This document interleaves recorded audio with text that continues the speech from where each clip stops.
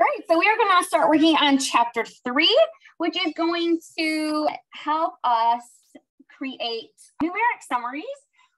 Is be able to explain a little bit more of what's happening with the numbers or the data um, that we graphed in the previous chapter.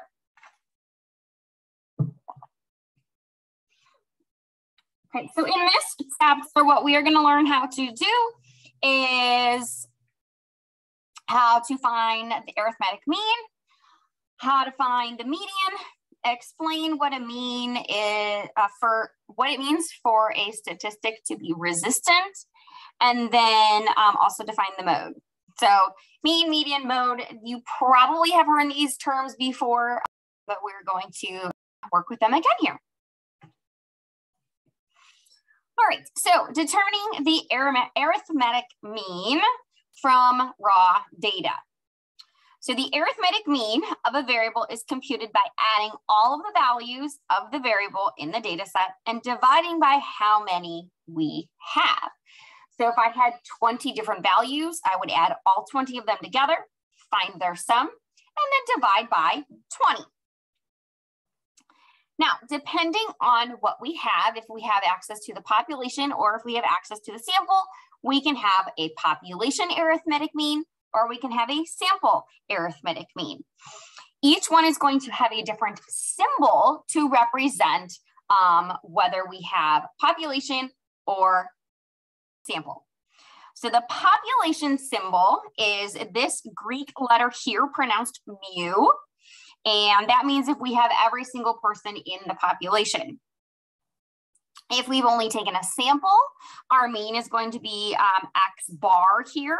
So again, whichever symbol they give us will tell me, do I have a population or do I have a sample mean? Okay, remember that a population value is a parameter and a sample value is a statistic. Okay, and that was something we about back in chapter one. So no matter whether we are finding a population mean or a sample mean, the formula is exactly the same. All right, so you'll see here, mu or x bar is gonna be calculated the same way. Sum all of the individual values you have divided by how many total you have sum all the individual values together, divide by the total number that you have. So let's say here, we have given an exam to 10 students that are enrolled in introductory statistics. So we are gonna pretend that this 10 is my population. It is the entire class, so that's a population.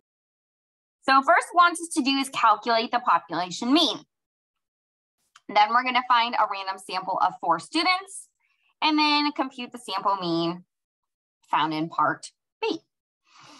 All right, so I have 10 scores here. So if I want to find the population mean, I'm going to add all of these scores together to get a total. All right, so that's what I'm going to do over here. 82, 77, 90, 71, 62, 68, 74, 84, 94, and 98. Okay, I must hit equals after I sum all those values. And I get 800. That is my entire sum. I take that sum divided by how many students I had total, which was 10. So 800 divided by 10 gives me 80. So the mean score is 80. I'm going to show you the by hand methods first, and then we will eventually get to show you how to do this in StatCrunch. So next one, what we're gonna do, remember, um, is it wants us to find a random sample. So we have a few different options how we could do this here. I could go to a random number generator um, because this is the example I'm working out for you. I've already gone through and done a random number generator here what it has me do here is this is just using uh, my TI calculator here. I want it to give me random integers, no repeats. I have from one to 10. So I have all the numbered values one to 10, and I want to select four of them. So I used my TI-84 to give me a random sample of four numbers from the values one to 10. okay? And the values it spit out were 5, 10, 2, and 6. I go here, 5, 10, 2, and 6. Those are the scores I'm going to use. 77, 62, 68, and 88. And these are the four that they have. All right, so now it wants me to find a sample mean using my four randomly selected values. So to find a sample mean of these four, I'm going to sum the four values together and I get 295. I take that total divided by how many students I selected, which was four, and this is my sample mean. Okay, notice my sample mean is not the same as my population mean. It's because I've randomly selected four values. If I pick a different four random values, I will get a different sample mean. Okay, so I could run that again. So I'll run it the other way here. Um, random organizer. So this is what I did last time.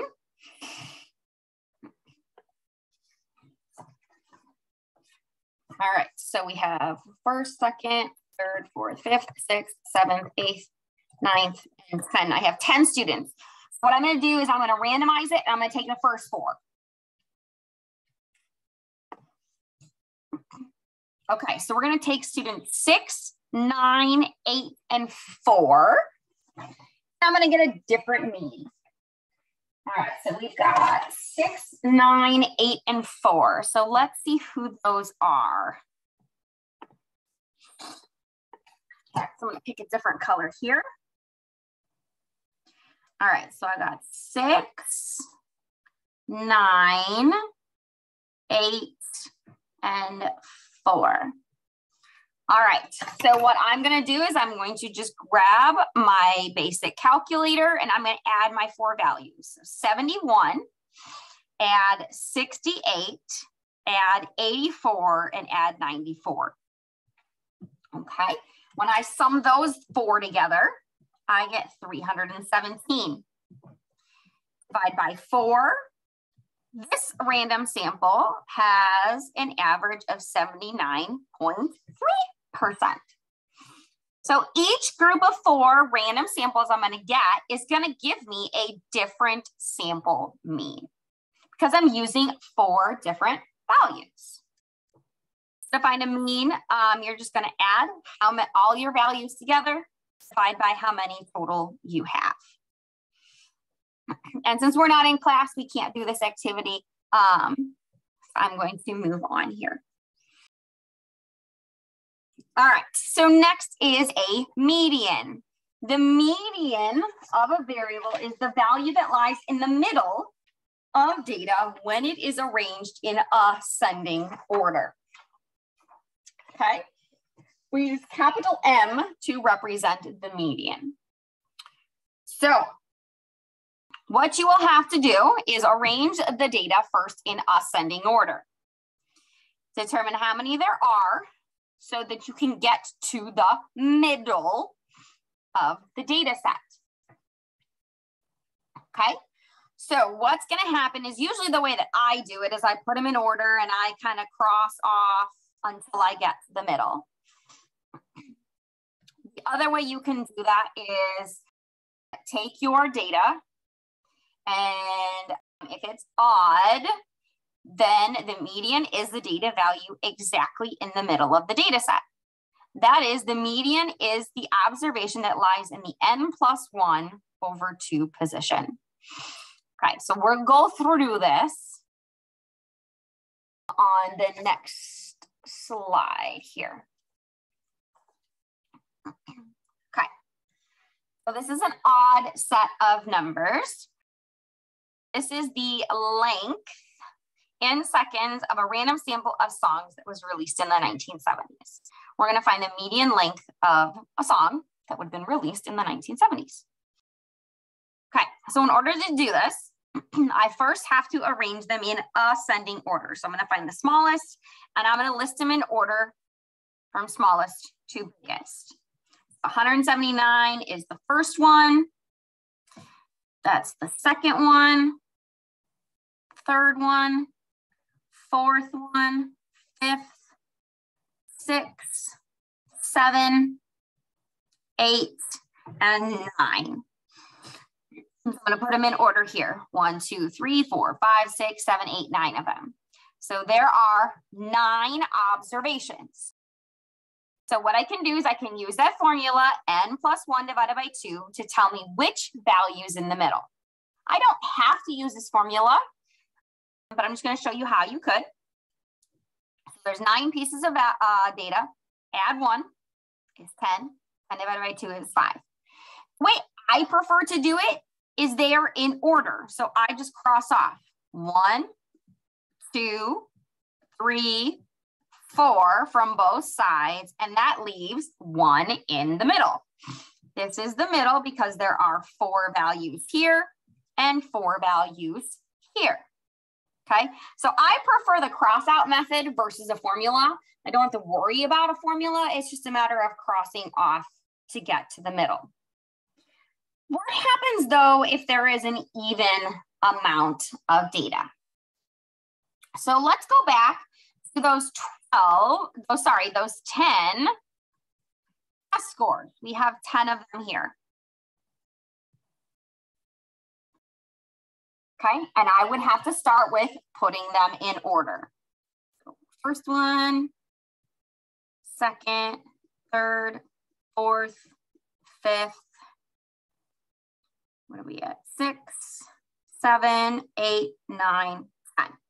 And I would list them in order then. Okay, I've already done that on this slide here. So they're all 10 in order. So the way that I do it is I just start crossing out. Two on each side, three on each side, four on each side. Okay, now I can't cross out anymore because if I cross out one of these, I'm left with an uneven amount. It has to be even on both sides. Okay, so because n is even, the median is the mean of the two middle observations here. So I need to take the fifth and the sixth and average them together. So 77 plus 82, I get that total first. So 77 plus 82 is 159. Divided by 2 gives me that 79.5. Okay, so what I'm saying here is the median is 79.5. And then I have one, two, three, four, five data values below it, and one, two, three, four, five data values above it. So now we're going to compare the mean and the median because sometimes they are very close together, sometimes they aren't. Okay, so Yolanda wants to know how much time she typically spends on her cell phone. She goes to her phone's website and records the call length for a random sample of 12 calls. Shown below um, in this table, we want to find the mean and the median length of phone call. And then which measure of central tendency better describes the length of a phone call? So if I were to find the mean, I'm going to add all those together. So 1 plus 7 plus 4 plus 1, 2, 4, 3, 48. 3, 5, 3, and 6. Okay, that gives me a total of 87 minutes that I'm going to divide by 12. And my mean is 7.5. Median I have to put them in order. So one, one, two, one, two, three threes, three, three, three, four, four, five, six, seven, and 48. All right, so what I'm gonna do is I'm gonna work my way through here by crossing out one on each side, two on each side, three on each side, four on each side, five on each side. Okay, I'm left with two in the middle. So if I add three and four together, that makes seven divided by two. The median is three and a half.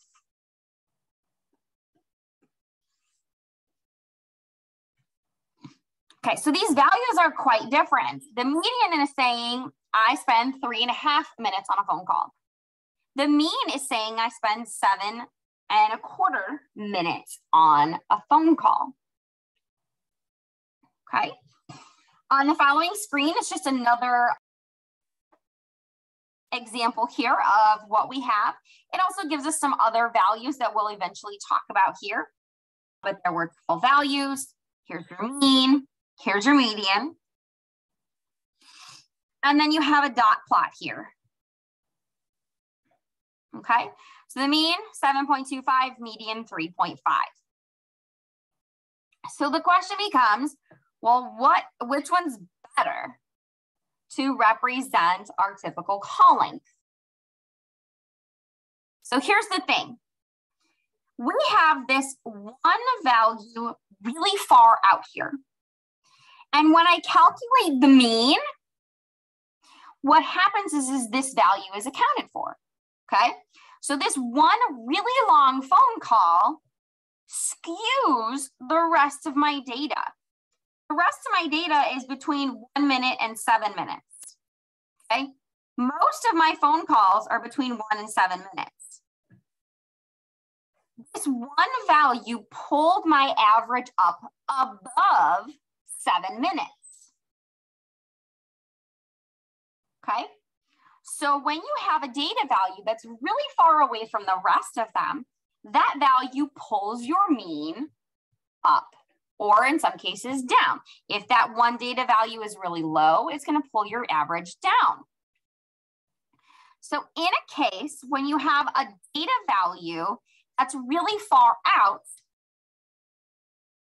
the mean is not going to be representative of that data set, what we want. So in this case, a median is going to be better. So what does that mean exactly? Why do we discuss this? Okay, we talk about the word resistance. And what's going to happen is a the, the one that is most resistant here is the median. A median is going to be resistant because it does not get skewed because of a really high or really low value. So in this case here, this value throws off my mean. So mean is not resistant here. The mean is impacted by these values. The median is not impacted by these values, so the median is resistant. So just to show you, um, we talked about those here in these general histograms, shapes of graphs that we talked about in chapter two, this is gonna show you why we get a bell curve versus a skewed curve. In a skewed left, there ends up being low, really low values that are away from normal. So it pulls the mean down lower than the median. Okay. When your mean and median are roughly equal, you get that bell-shaped curve. this phone call set is going to look like this. I have this one really, really high value. So it's pulling my mean higher while my median is lower. And that creates the skewed right diagram. Really just describing a little bit more of why these graphs happen. And it's usually because of those, we kind of call them outliers um, or really far data from the rest of from the rest of the data.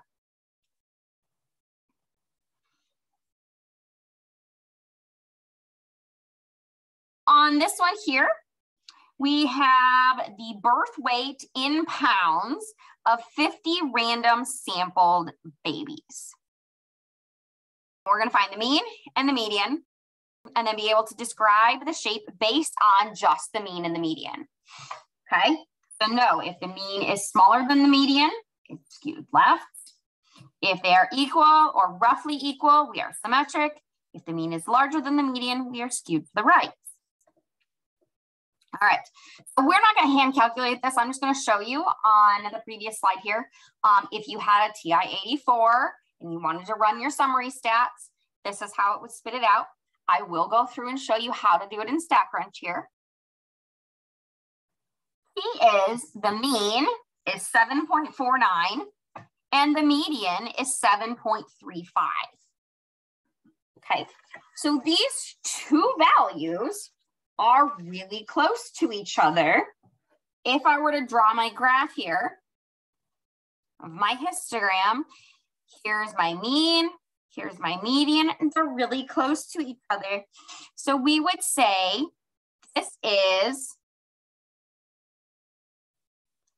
roughly symmetric. And when they are symmetric, we use the mean. That is our go-to. If it is not a symmetric, we will no longer default to the mean and we will instead choose the median. So we usually like to default to the mean. Um, that is the one that we like to stick to the most. But in a case that our data is skewed one way or the other, we will switch to then explain that the median is better representing of our data. The last thing we're going to talk about is what is called a mode. The mode of a variable is the most frequent observation of the variable that occurs. A set of data can have no mode, one mode, or more than one mode. If no observation occurs more than once, we say the data has no mode. All right, so an example here. The following data represents the number of O-ring failures on all space shuttle flights prior to the fatal flight um, of the Columbia that was in 1986. Here's all our data. A whole ton of zeros, one, one, one, three. All right, find the mode number of O-ring failures. Well, what number occurs the most? Okay, I would tally it up if I wanted to, or visually, I can really see this here. Zero happens the most frequently. These are all zeros. There are way more zeros than any other value. So the mode is zero. Let's look at the test score data. Okay, this was our test score data. And if you look at these, okay, so I've got an 82, a 77, 90, 71, 62. None of these values happen more than another. So this is an example of no mode. There are cases where there is no value that happens any more frequently than a, another one. And in that case, we say there is no mode. Note again that a data set can have more than one mode. It is possible if there are two modes, that would be called bimodal. So for example, if I went back here and I did this, I changed this one to an 82. The mode would now be 82 because 82 happens more than any other value. Okay, if I go and do this though, I have two values that occur more frequently than any other value. And it would now be bimodal 82 and 90 because both 82 and 90 happen twice, which is more than any other value. It is possible to have more than that if you're working with a really high amount of data. So if you have three or more, is then called multimodal. Most of the time, we're not going to see data that uh, does that. It'll usually be just one, none, or two. But do know that that can happen.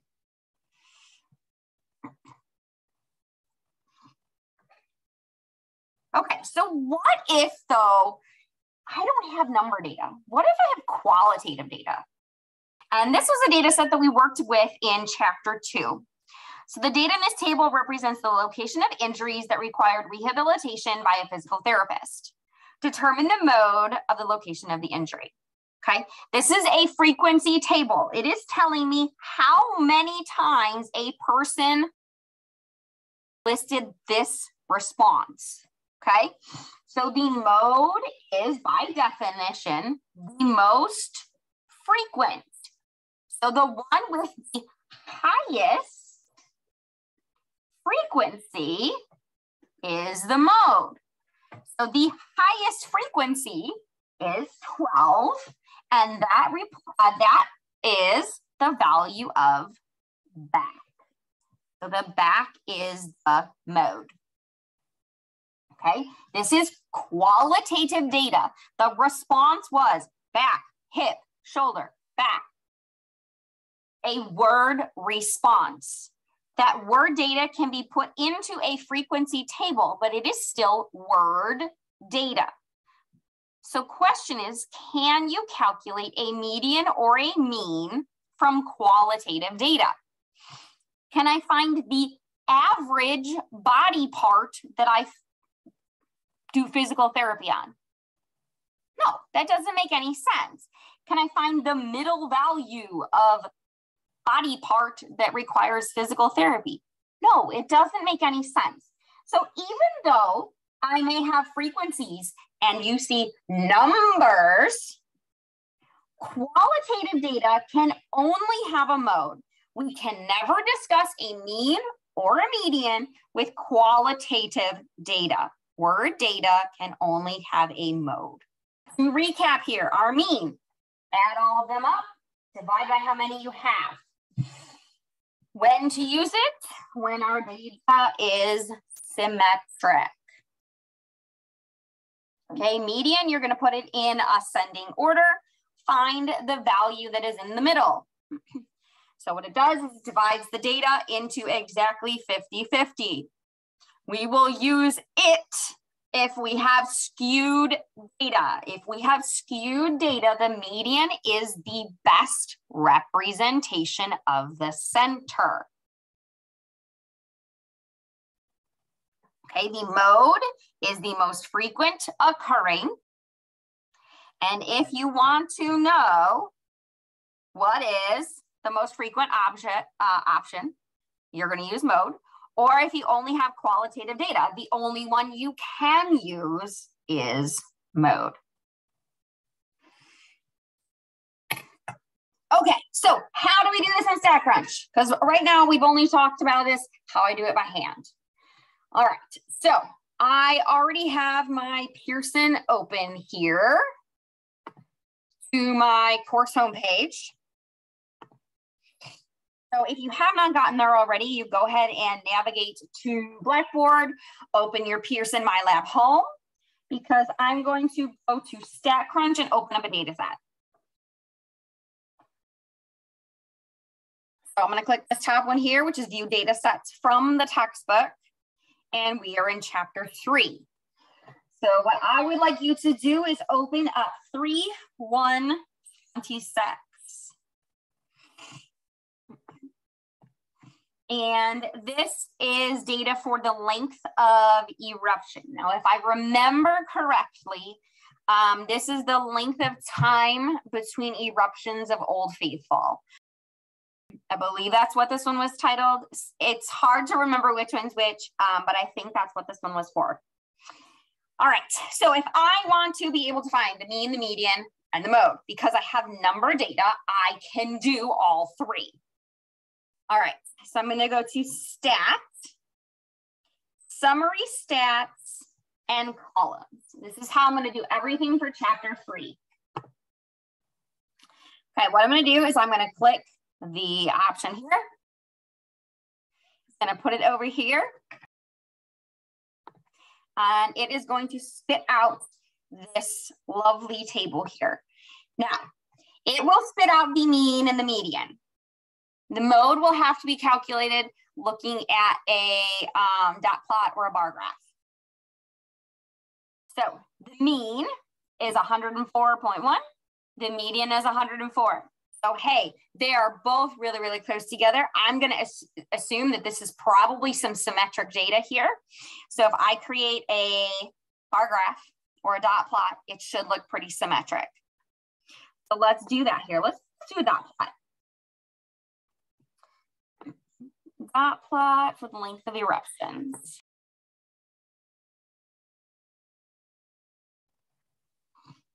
All right, not too bad. Oh, I like to make my dots larger so that I can see them. Because it has a hard, I have a hard time viewing them there. There we go.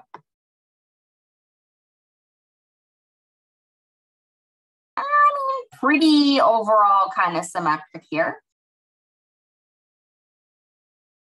So the last thing we want to find is our mode or the tallest one of these. So if I'm looking at this it actually looks like this one is the same height as this one. Covering over that, 103 happens the same amount of times as 110. So 103 and 110 would be my mode. So mean is 104.1, median is 104, mode is 103 and 110. There is another way you could do that here. If you go to stat, summary stats on the column, you can just go down here and select mode and only find the mode. Problem is though, if there are multiple modes, it's not gonna give it to you, okay? So that's why the bar graph or a dot plot are better at showing you that. So I could go to bar with data. It's going to be the same as a dot plot. Oh, except it's going to bin it. I don't want to do that. So dot plot is the best way for this one because I have a ton of data. So go back to my dot plot.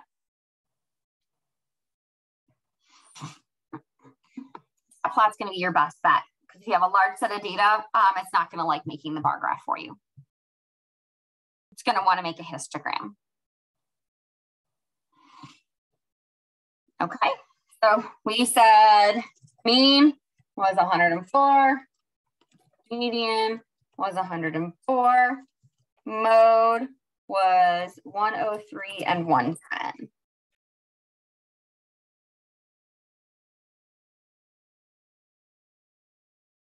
So if I had to pick one of them based off of, hey, what's the best measure of center here? I'm going to go with the mean because it's relatively symmetric. And that is the best one to pick what um, if you are just asked for what's the best and it's symmetric. And in this case, the mean and median are the same. So really it didn't matter which of them I chose. They're both 104. All right, so let's say though, instead I wanted to look at this data set 3129. And this is political view of 30 different people. All right, so I have word data. This is qualitative data. I cannot calculate a mean. I cannot calculate a median. I cannot do that. If I go to try to do this, stat, summary stats, column, it isn't even going to let me select it. I cannot calculate a mean or a median. It is word data and it sees that. Okay. The only thing I can do here is create a bar graph. with my data and see which one is the highest. And the highest in this case is moderate political views. So moderate would be my mode. You guys have your choices. You can do them by hand. Can use StatCrunch here to help you. Um, everything we're going to be doing in here is stat, summary stats columns, and then creating either a dot plot or bar graph depending on what you have. Um, I would use a bar graph for the word data and I would use a dot plot for the number data. Just because it doesn't like if you have a huge data set to do a bar graph. Dot plot is better. Well, that is the end of section 3-1. I will see you back here in 3-2.